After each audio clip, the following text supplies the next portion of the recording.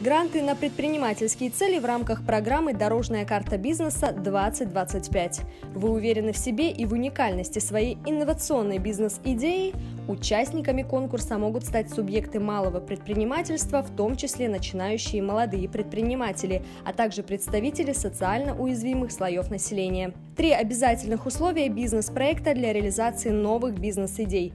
Собственное участие предпринимателя денежными средствами не менее 10%, создание новых рабочих мест, наличие инвестиционного плана.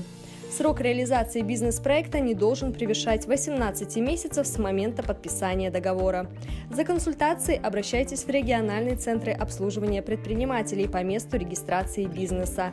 Дорожная карта бизнеса 2025. Реальная помощь малому бизнесу. Подробности на сайте Национальной палаты предпринимателей Атамикен.